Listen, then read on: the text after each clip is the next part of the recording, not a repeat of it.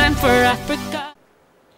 So the next game will be France vs Mexico. The very good thing about this game is I will get a free beer of uh, Heidi in the Irish pub. She's over there. Can you show Heidi for a second, please? Famoto, she she's very French today with this like ringo, like stripes. So, hmm, France has to win because otherwise they're out of the World Cup. But they kind of suck this season.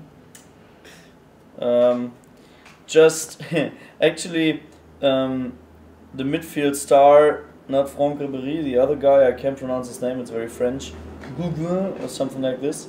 Um, uh, he's got mobbed by the other players of the France team because he said he likes to read a book every once in a while, and the others just like to play um, PlayStation.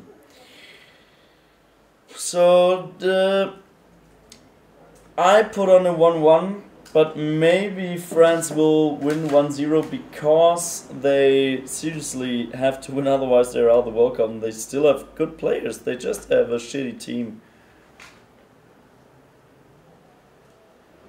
I don't know. I put on a 1-1. I might change it in, in two hours to a 1-0. I don't know yet. Because Mexico's not doing their well as they're good as well.